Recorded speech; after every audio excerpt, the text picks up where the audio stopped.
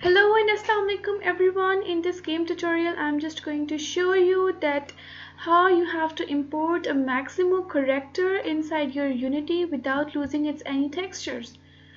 So I'm just putting my Maximo corrector inside my scene and I would see that what happened to my corrector Oh my god.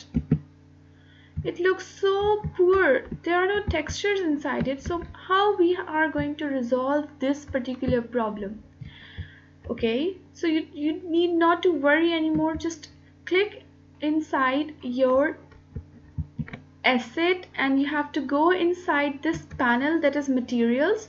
Inside materials in, in with this option that is checked textures you have to just extract all the textures of this particular player.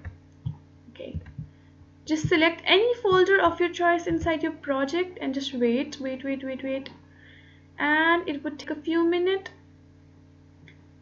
And here comes my granny. It looks so beautiful and all the textures are visible very clearly.